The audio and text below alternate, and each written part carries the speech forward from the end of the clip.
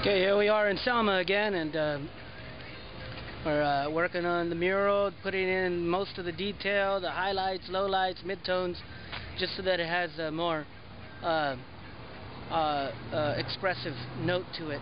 Um, I'm working on the the, the uh, sky right there where the schoolhouse is, um, putting in some different tones, whites, different kinds of whites, different kinds of aquas, and uh, and those blues. Those uh, phthalo blues kind of give way to the uh, the greenish greenish blue gives way to the to the whites up there. I'm trying to keep them like clouds or the motion of air. It's getting a little Van Gogh-ish, but uh, I'll solve that problem as I get to it.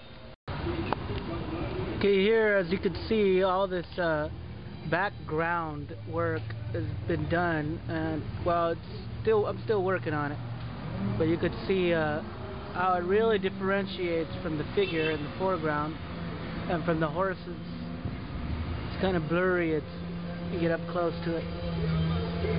The uh, it's pretty much a bunch of dots. Uh, I'm trying to join them together with uh, mid-tone dots and various other colors like greens and so on. So this is where I'm at, and uh, we're continuing with our our endeavor to complete this mural in uh, Selma.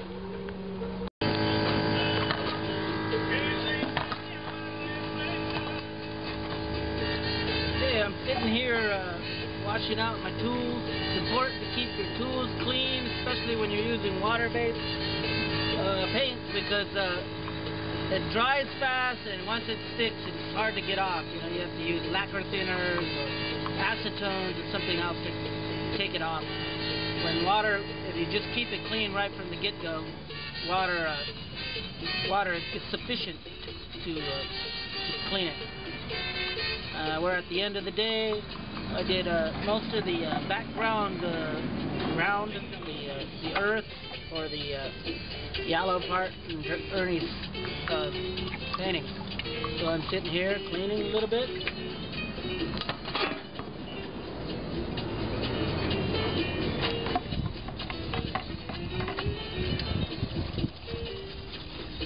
Cleaning away, cleaning away, you know, gotta keep your tools clean. And uh, it's been pretty good all day today. Wasn't really that hot, but uh, it's kind of hard to survive on one chicken sandwich all day long.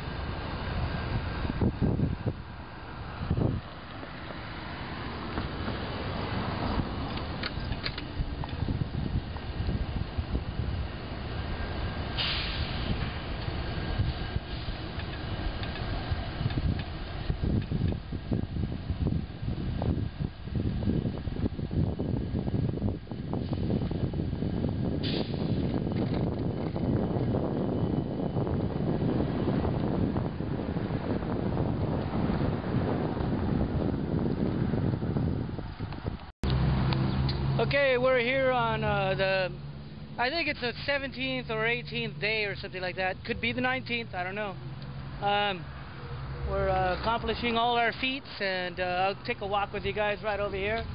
Uh, we worked on the grapes right up there, um, in the hands and stuff. I worked a little bit more on the uh, grapevines, the leaves and stuff like that. You can see the little dotted patterns going on. Worked on the background and all the uh, areas in between the hats and the foreground uh, uh, valley floor. Also work this, uh, some of the horses, you see the horses right there, they got... Uh, mules. The mules, I'm sorry, the mules. the mules, uh, they have a, a, little reflection of the water. I'm thinking about doing a little reflection on the other side to sort of round them off. Um, it's called uh, backlighting and, and foreground lighting. And I started the rep to repair the uh, the the scraper, the Fresno scraper, because it's um, it was wrong the way Ernie had depicted it. And uh, right down the street over here, they have a real one, uh, one that, that was made in that time. I don't know exactly what the date is that they made it, but it was sometime in the 1800s. Uh, and uh, that's what they used to build the canals and to scrape up the floor and and plow a little bit to sort of soften the ground, I guess. Uh, you can see the background. I'm integrating the foreground with uh, the background, uh, eliminating the, the middle ground. Um, and Francisco worked over here uh, along with the uh, with the uh, train and the Selma um, irrigator newspaper. And you can see that he put some um, put some uh, light tones in it to give it a sort of like a wrinkled, a wrinkled look. You know, and the the color is is to depict like it's old. It's an old paper. Basically, it was a, it was a, one of the Selma's first newspapers ever written. It was a democratic paper that um, that uh, you know everybody was was getting in order to be informed of what Selma, what's going on in Selma. Um, worked a little bit on uh, various other things. You know, he put the the uh, blue in there and the purple line right there, or the alizarin line. Not, I think it's Naphthol crimson actually, to tell you the truth. And uh, that's that's about it. So here we are on uh, the 17th or 18th day, and uh, we're still hammering away. We're almost done